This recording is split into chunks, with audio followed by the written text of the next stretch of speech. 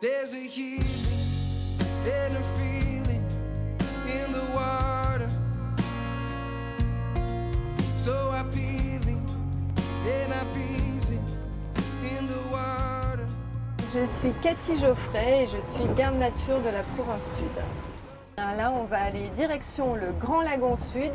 On surveille euh, les oiseaux qui ont niché, il y a les juvéniles et euh, notre destination finale, l'îlot Coco, le plus loin du Lagon Sud.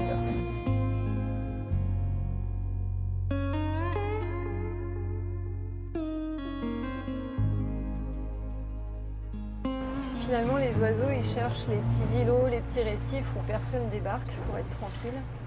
Il y a un peu plus une soixantaine de sternes UP. On fait des photos et puis on compte.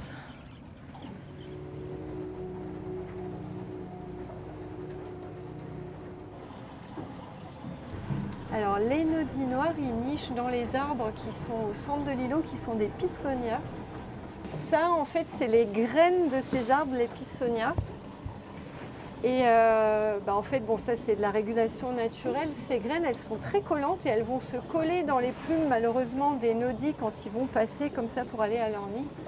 Et il y a une période de l'année, malheureusement, où on voit plein d'oiseaux qui sont en détresse dans l'eau ils n'arrivent plus à s'envoler parce qu'ils sont euh, bah, en fait euh, empêtrés dans ces graines.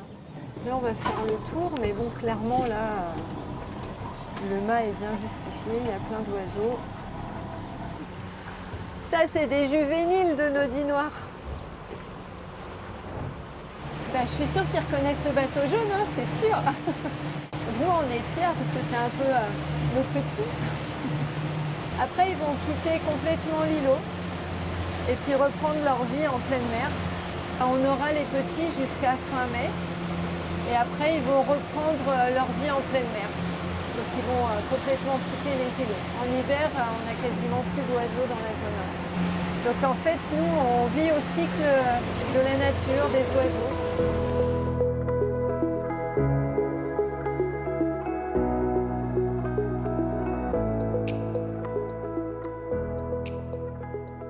Que ce soit par euh, goût, passion ou dans mes études, les métiers, ça a toujours été dans l'eau, ça c'est sûr. Il faut qu'il y ait la mer pas loin. J'ai euh, plutôt grandi au bord de la Méditerranée. J'ai donc euh, été assez jeune monitrice de plongée donc, euh, et puis j'ai fait des études en biologie marine. J'ai été aussi garde nature en métropole, donc au parc marin de la Côte Bleue à côté de Marseille. Entre ces deux métiers, mon cœur a oscillé, on va dire.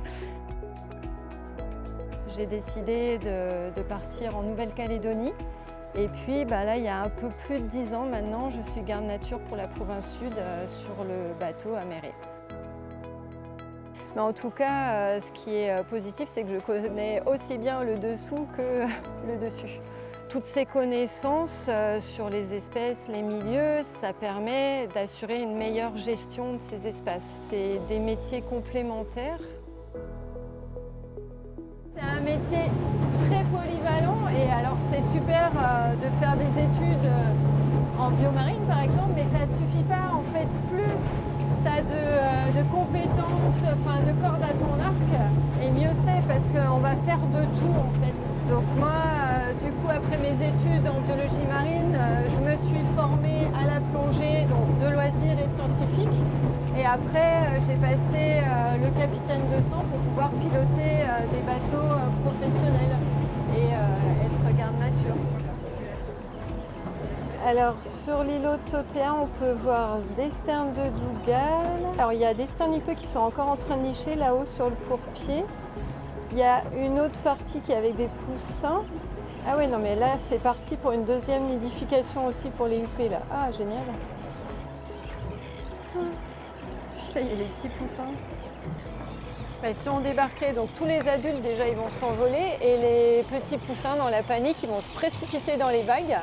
Donc bah, déjà s'il y a des carangues ou euh, des requins dessous, euh, eh ben, ils vont se faire euh, manger. Et puis quand il y a des vagues comme ça, ils se font emporter, ils ne sont pas encore aptes à, s'envoler, donc ils risquent de se noyer tout simplement. Donc voilà, quand il y a un îlot comme ça, c'est stop, on observe, c'est magique, mais on débarque pas.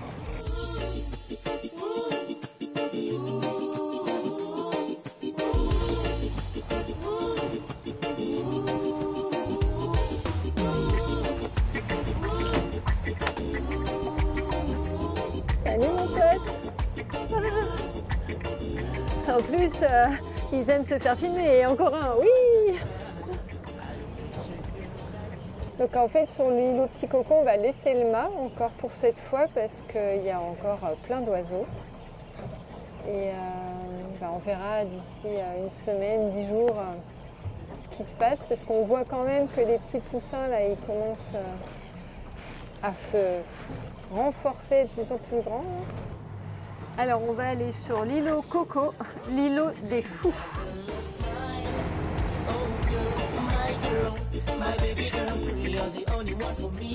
Regarde, regarde. Regarde, ils sont beaux. Ah. Ah. Alors on va essayer de faire euh, l'inventaire des fous bruns, notamment de ceux qui sont sur nid et des poussins, donc qui peuvent être cachés, tu vois, à la limite entre le sable et, euh, et les premiers buissons.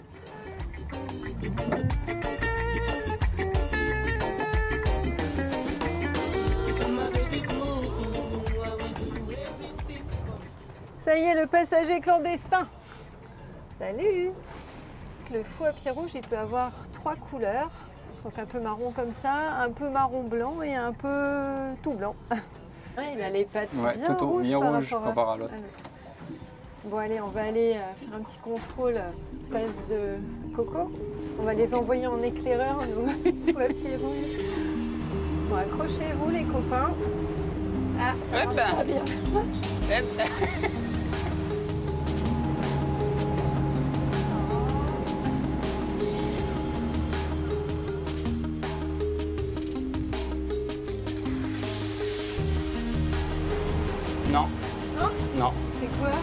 Des vagues.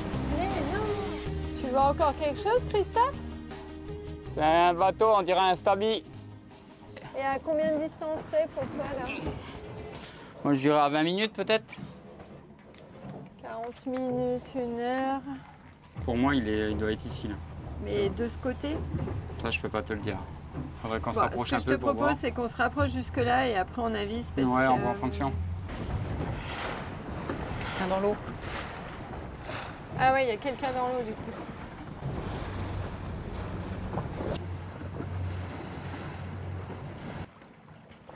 Bonjour Garde nature de la province sud Pour un petit contrôle de pêche, s'il vous plaît.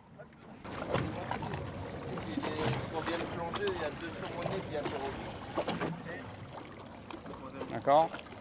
Vous avez fait les porcelaines Pas de langouste, rien, pas de versicolore? Une saumonée, Il y a six poissons. deux, deux saumonets, deux hirondelles, deux et un et un perroquet. Ok, parce qu'on note en fait par espèce aussi. Est-ce que vous avez eu le guide du lagon euh, 2024 Non. Vous le voulez? Oui. Ouais. Ça va niveau réglementation, vous êtes au courant? Ok. D'accord? Bon. Et le perroquet à bosse, espèce protégée hein, maintenant. Perroquet à poste, on Voilà. n'a pas le droit. C'est ça. Ça marche, pas de souci. Yes. Très bonne journée à vous. Au revoir.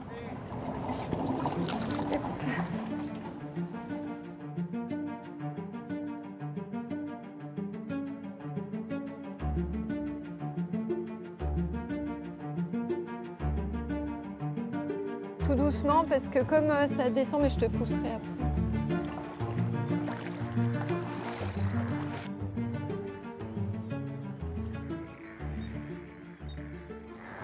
En fait, je regarde euh, dans les nids s'il y a encore des poussins de nodibrin pour savoir si on laisse euh, ou non le mât sur cet îlot qui s'appelle Terré. C'est un îlot où on a mis euh, le mât cette année pour protéger les nodibrins. Parce qu'en fait, tu vois, ils nichent dans ces petits buissons qu'on appelle les bois matelots.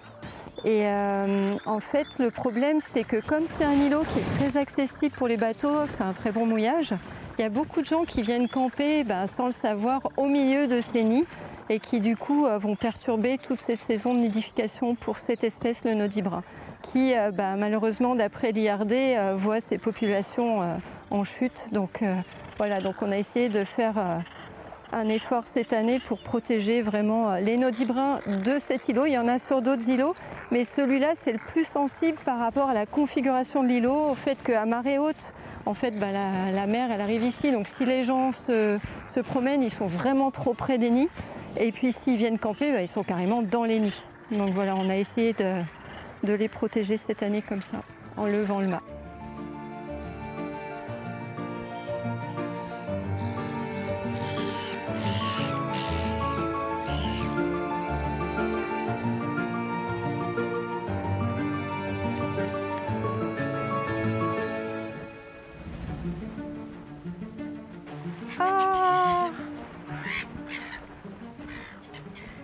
Je vais retourner au bateau. Il est plein de graines et euh, bah là il peut plus voler. Donc il va falloir qu'on l'attrape pour euh, essayer de le nettoyer. Et puis peut-être euh, ben, l'amener carrément au parc forestier pour qu'il le rebooste un peu. Donc mission sauvetage. Dans ce métier, euh, ce qui est euh, assez fantastique finalement, c'est que tu pars pour quelque chose et puis finalement tu te retrouves à faire autre chose. Et en fait, euh, bah, ce, qui, ce qui motive aussi, c'est que là, on va bah, certainement sauver un oiseau qui, qui est en détresse. Donc c'est chouette. C'est pour ça qu'on fait ce métier aussi. Après, il y a la caisse bleue. Bleu. Et puis il faudrait. Alors moi j'ai des gants dans mon sac euh, kaki là. Merci. Je le mouille là et kayak. ok, super.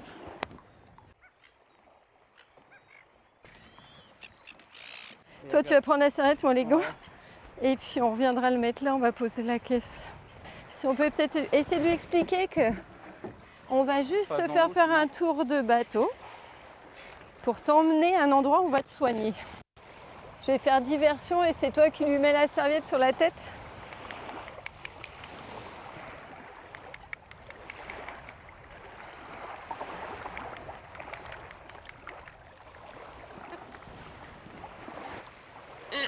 Laisse-lui bien le bec dans la serviette, hein, parce que sinon tu vas te faire. Et là tu l'enroules bien.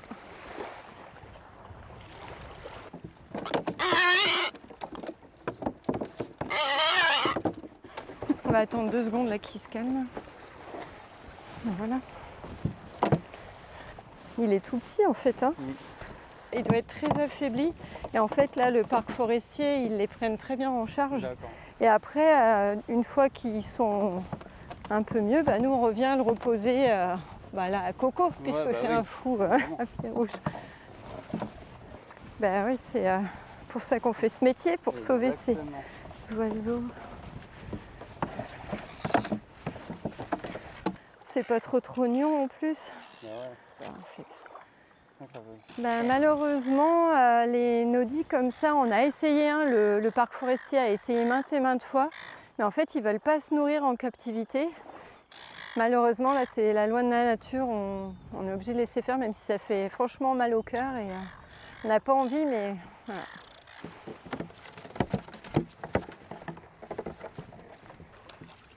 Attention tes doigts à l'intérieur parce que on va dire que pour la partie mer, ça va être la fin de journée d'ici une bonne heure le temps qu'on rentre.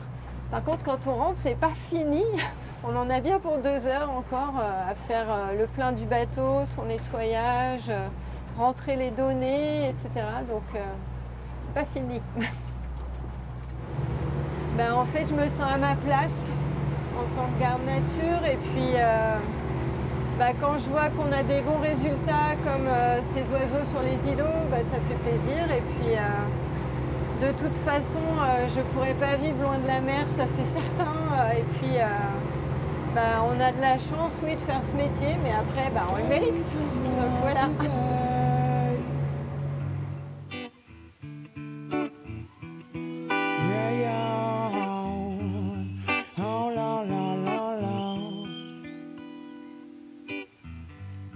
Si j'avais tes ailes,